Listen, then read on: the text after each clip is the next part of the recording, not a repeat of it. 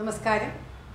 Welcome to Geetha's Bhakthigeetham one day one ശ്ലോകം Srimad Mahabhagavata Mahatmyam hundred seventy nine day today twenty fourth Shloka of third chapter for details please see the description box Geetha's Bhakthigeetham ഒരു ദിവസം ഒരു ശ്ലോകം ശ്രീമദ് മഹാഭാഗവത മഹാത്മ്യം നൂറ്റി എഴുപത്തി ഒൻപതാം ദിവസം. ഇന്ന് മൂന്നാം അധ്യായത്തിലെ ഇരുപത്തിനാലാമത്തെ ശ്ലോകം. ഓം നമോ ഭഗവതി വാസുദേവായ. ഓം ശ്രീകൃഷ്ണ പരമാത്മനേ നമ. ഓം കൃഷ്ണം നാരായണം വന്ദേ. കൃഷ്ണം വന്ദേ വ്രജപ്രിയം. കൃഷ്ണം ദ്വൈപായനം വന്ദേ. കൃഷ്ണം വന്ദേ പ്രതാസുതം.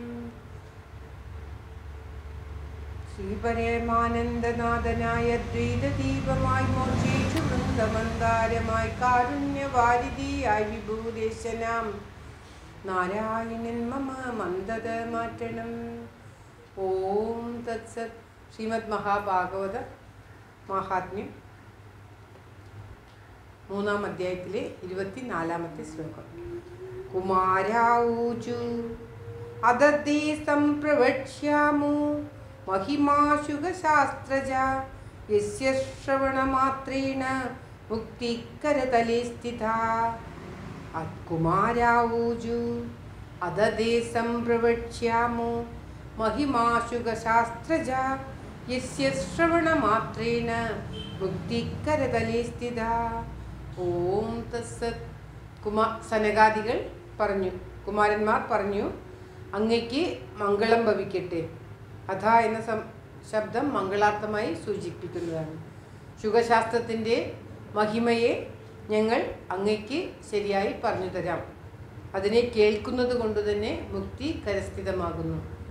അതായത് ശുഖബ്രഹ്മർഷി പറഞ്ഞിട്ടുള്ള ഈ മഹാഭാഗവതം കേട്ടാൽ തന്നെ മുക്തി ലഭിക്കും. കരസ്ഥിതം എന്ന് പറഞ്ഞാൽ കൈകളിൽ സ്ഥിത ചെയ്യുന്നത്. കയ്യിലുണ്ടാവുമ്പോൾ നമുക്കതിന് ഉടനെ പ്രാപ്തിയാകുമല്ലോ. അതുപോലെ കര കൈ കൈതലത്തിലുള്ള ഭക്ഷണം പോലെ നമ്മുടെ കയ്യിൽ ആ മുക്തി ഉണ്ടാകും.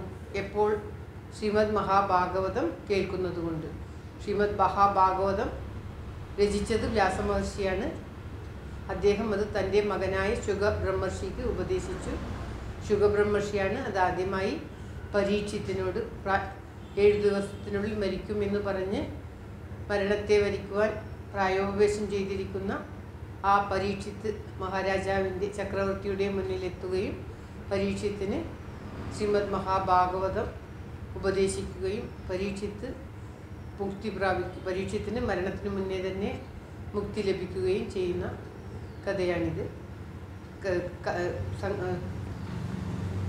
പുരാണ പുരാണമാണിത്. കഥയല്ല സതിയായി നടന്നതാണ്. നമ്മുടെ അറിവിനെല്ലാം അപ്പുറമുള്ള കാര്യമാണ് അപ്പോൾ നടന്നതാണ്.